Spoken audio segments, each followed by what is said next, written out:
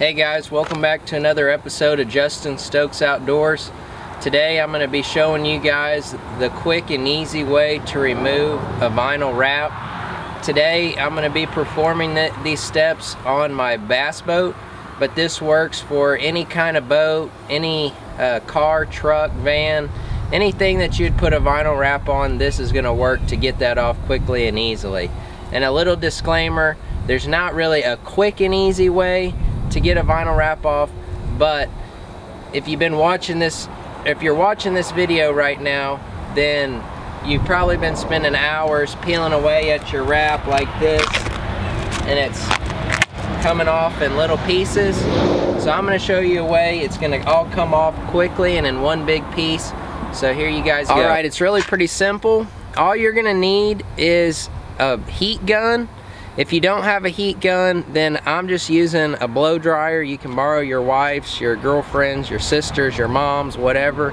Um, or you can go buy one, they're pretty cheap. Uh, you don't need a real nice one. But you're gonna turn it on to the highest heat setting and you're just gonna start heating up the wrap area. And it's gonna start out a little bit slow at first until your blow dryer or your heat gun really heats up to a high temperature but you're just gonna fan it back and forth on the area where you're getting ready to peel your wrap.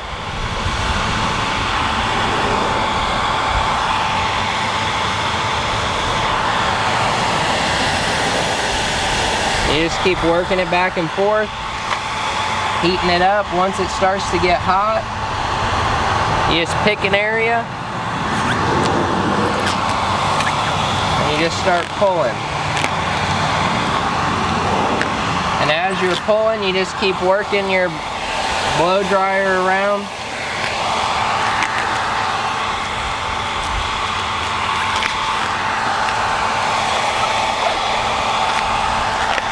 And I always like to start out away from where you're working and kind of blow the hot air back towards it because what that does is it heats up this area but it's also getting the area ahead of where you're going hot too. If you're blowing back this way, at it or straight on, you're only gonna heat the area right there where you're peeling. So I like to get it back this way so I'm already warming up the stuff that I'm coming up on. You can see how quickly this is just peeling right off.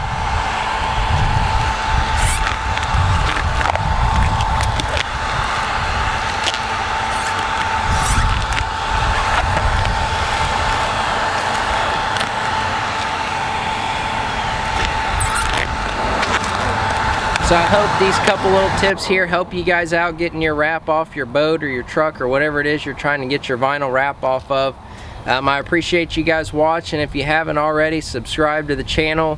I know it's been a while since I posted a video, but I've got some more coming out pretty quick here. Uh, so thanks for watching and have a good one.